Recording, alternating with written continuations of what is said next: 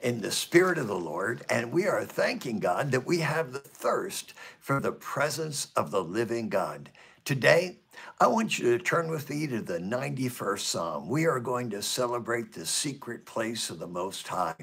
As we are in this journey together, fulfilling the destiny of God in our life, I pray for you every day. Ephesians 1 16 down through the end, and Ephesians 3, where we bow our knees to the Father of our Lord Jesus Christ, the Father of the whole family, and heaven and earth is named that he would grant you, according to the riches of his glory, to be strengthened with might by his Spirit in your inner man, that Christ would dwell in your hearts by faith, that you, being rooted and grounded with lo- in love, may be able to comprehend with all the saints what is the breadth and length and depth and height, and know the love of Christ that passes knowledge now unto him that is able to do exceeding abundantly above all we ask or think, according to the power that works in us, to him be glory in the church, world without end.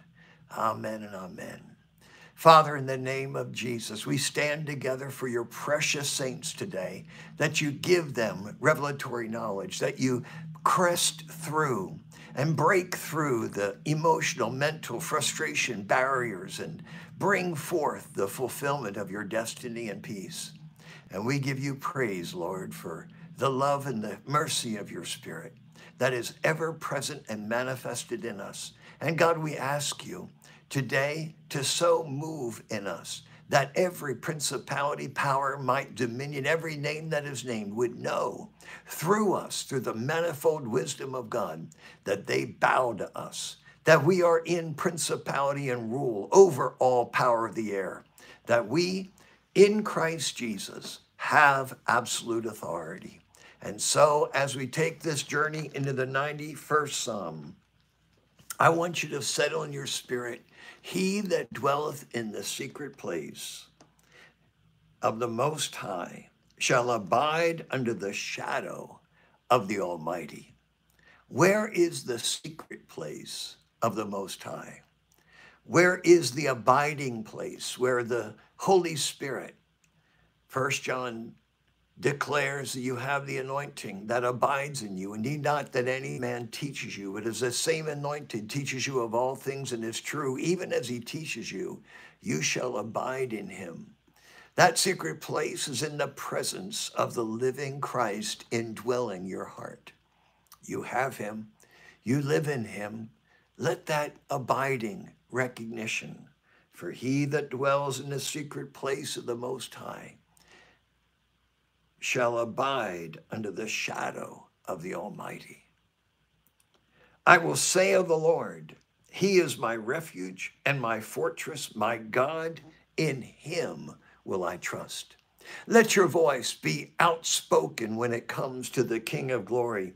Say of the Lord, He is your refuge, He is your fortress, He's your God, and in Him you trust. Let your voice be heard both in your own ears, because faith comes by hearing and hearing by the word of God as you meditate on the word, and into the annals of the enemy that you manifest the manifested wisdom of God and speak to the principalities and powers of the air that wisdom of God. And creation needs to hear your voice. And man needs to know that you trust in the Lord with all your heart you lean not on your own understanding. In all of your ways, you acknowledge him, for he will direct your paths. It says, Surely he shall deliver thee from the snare of the fowler and from the noisome pestilence. How is God going to deliver you from the snare of the enemy that has studied man since the fall of Adam?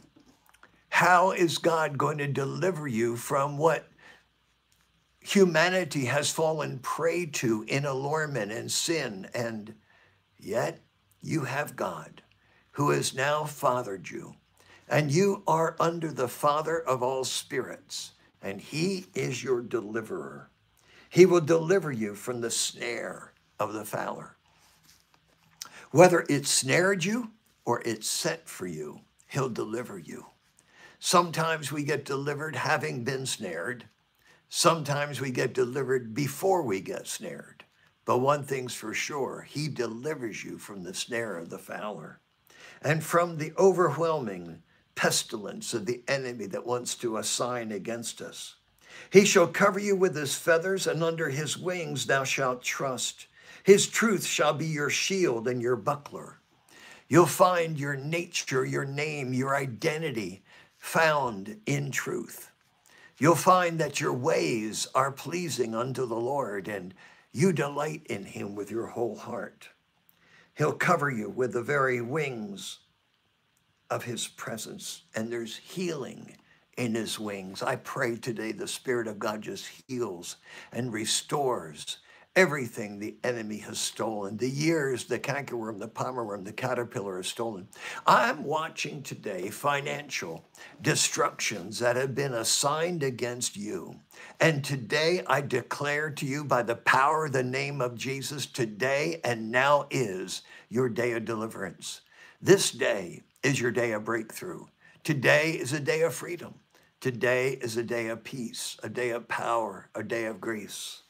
And so it says, Thou shalt not be afraid for the terror by night, nor the arrow that flies by day.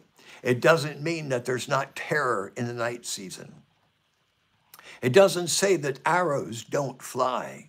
It says, Thou shalt not be afraid.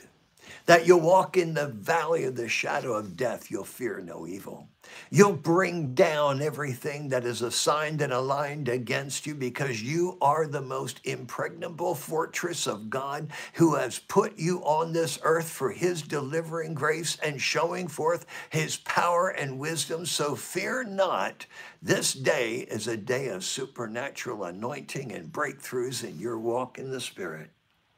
It says, nor the pestilence that walks in darkness, nor the destruction that wastes at noonday.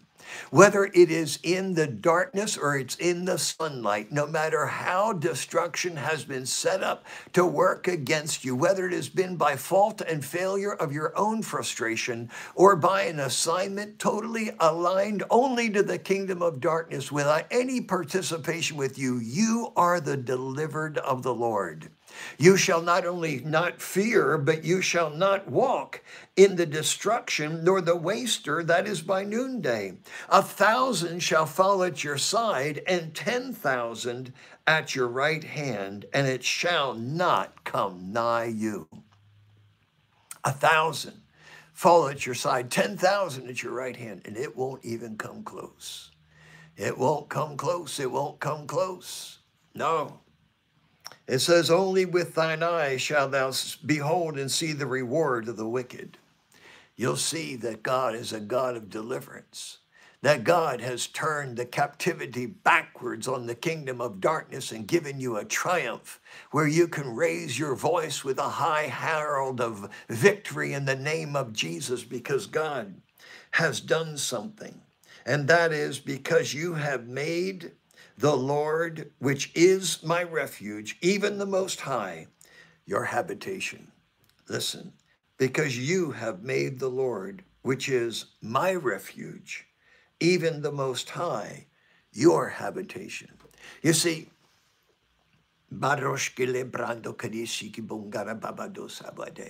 Dwell in the presence of the Spirit of the Lord and let a high hand of victory be your portion.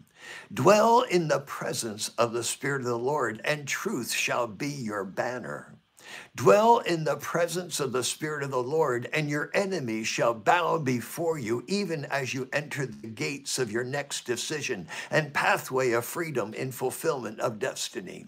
Yea, dwell in the presence of the Lord, and you shall have a breastplate of righteousness, and you shall be able to quench every fiery dart of the wicked one by the shield of faith and the sword, the word of the Lord, out of your mouth shall cause the enemy to bow and sever from his attachment, attraction, and alignment with your life. So fear nothing in these days, for the Spirit of the Lord and your habitation that you have with him is now abiding. Oh, my Father, I thank you for victory. I thank you for the presence of your power. I thank you for the triumph of your nature. I thank you for you, God, being our habitation. It says, There shall no evil befall thee, neither shall any plague come nigh thy dwelling. You've been delivered from every vile force of the enemy that is assigned against you. You have been given the power to have no evil befall you and no plague come nigh your dwelling. For he's given his angels charge over thee to keep thee in all thy ways. The messengers of God who expedite everything that God has spoken regarding you, who God who watches over his word to perform it has come to abide in you in mighty power, because you who dwell in the secret place of the Most High shall abide under the shadow of the Almighty. It says, Thou shalt, he shall bear you up in your hands, lest you dash your foot against a stone. The angels of the Lord have supernatural capacity to bring forth deliverance and power in your life. You, the cared for, you, the beloved, you, the impassioned by God. Yea, you shall tread upon the lion and the adder the young lion and the dragon shall trample under your feet. Oh my God. There's a triumph over everything that's come up against you. You are treading on serpents and scorpions over all the power of the enemy, and nothing shall by any means hurt you, because you have set your love upon me. Therefore will I deliver him. I will set him on high because he has known by name. This is Psalm 91, verse 15. And he shall call upon me, and I will answer him, and I will be with him in trouble, and I will deliver him and honor him. You may be in a situation today where trouble appears on all sides, but fear not, the Lord thy God is with thee. He is helping you, He is strengthening you, He is upholding you with the right hand of His righteousness. You know, the Spirit of God is doing a work that is supernatural in this day. And as we understand it, as we walk in it, there is a comprehension of the grace of God that is designed for us. It says, Isaiah chapter 58, verse 10, it says, If you draw out your soul to the hungry and satisfy the afflicted soul, then shall your light arise in obscurity, and thy darkness shall be as a noonday. You see, as you make the Lord your refuge, as you make him your strong tower, as he is your solence, as your security and your safety, my God, he answers you in trouble and delivers you, and God will honor you. It says in verse 16, with long life will I satisfy him and show him my salvation. This God that we serve is a God of miracles. God has stirred up my spirit in these days to say to you that this is a time, you who identify in the personal presence of the living God, you who identify with the awesome anointing that abides within you, that is true and is no lie, even as he has kept you in himself, so the enemy has no power over you. For he that is begotten of God keeps himself, and the enemy, the wicked one, touches him not. Yes, yes, this Isaiah 58, verse 10 your darkness will be as a noonday this Psalm 91, now I'm going to read through all at one time. I let, let the word just wash over you. He that dwelleth in the secret place of the Most High shall abide under the shadow of the Almighty. I will say of the Lord, He is my refuge and my fortress, my God. In Him will I trust. Surely he shall deliver you from the snare of the fowler and from the noisome pestilence. He shall cover thee with his feathers, and under his wings thou shalt trust. His truth shall be thy shield and thy buckler. Thou shalt not be afraid of the terror by night, nor the arrow that flieth by day, nor the pestilence that walketh in the darkness, nor for the destruction that waste at noonday.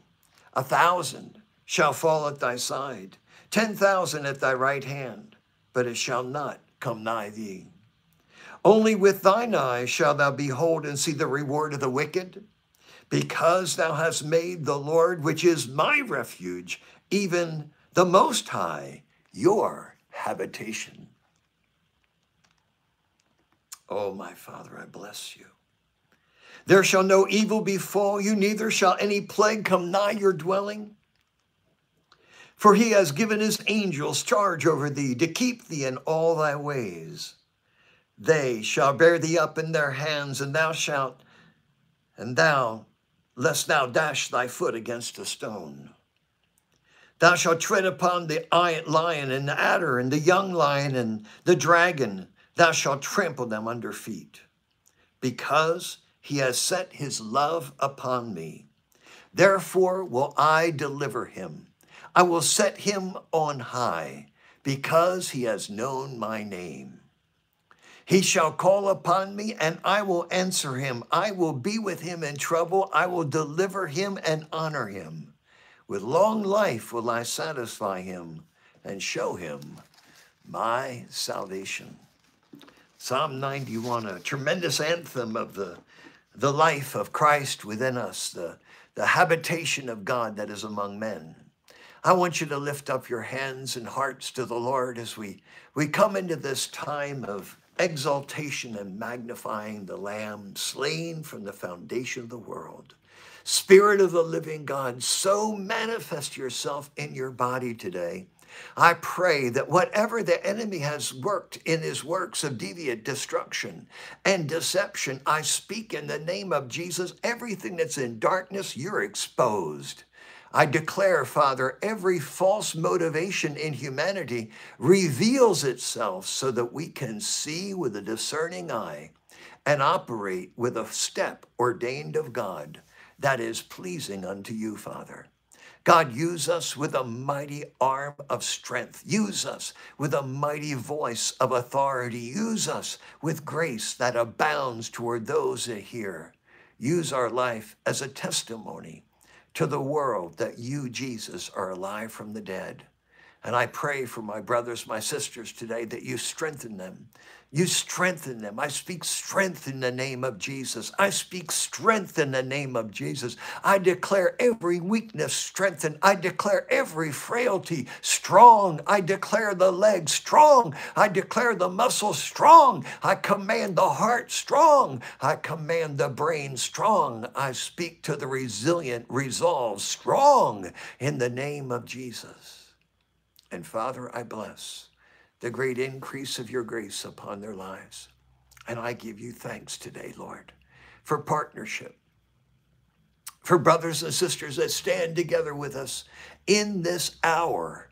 And God, so stand in their faith, so stand in their conviction that they give unreservedly. Father, that their hearts are opened to worship you with the first fruits of all their increase, that they worship you with the first tenth of all that you put into their hands, that God, you are able to rebuke the devourer for their sake. You are able to open the windows of heaven over their life. You are able to cause our fruit never to be cast before its time in the field. You are able to make all nations call us blessed. And we give you praise, Lord, for the anointing that abides on us. That as we give unto you, Lord, today, we worship you in our giving. We honor you for the great grace of God that is poured out in the seed and on the sower in the name of Jesus. Amen and amen. You see, worship is not just singing songs of adoration and a sacrifice of praise. It's also our giving are blessing the living God. So make sure today you take that time between you and the Father and present your sacrifices, present your love gifts, present your tithes into the hands of the Lord and watch God do what he does best, and that is be God to you. These Psalms were written by David in times of great crisis and tribulation, and he knew the God in whom he trusted. And that's why he said, Lord, remember all my sacrifices. And I pray God honors every seed you sow. And we want to get on the phone call today and talk about Psalm 91. Talk about what inspires you in that psalm. Talk about what snare the enemy has set up to try to destroy you with, and how God is here with the body of Christ to deliver you. So I want you to give us a call right now. In America, get on your phone call at 302 561 6767. America is 302 561 6767. In Canada, 709 500 6767. Canada, 709 500 6767. We want to hear from you today. And don't forget, men, Saturday morning, 8 a.m., is our manpower, our supernatural awakening time for men in a grace that is going to transform their lives. Be here with us right here in New Castle, Delaware. God bless. See you tomorrow, Lord willing.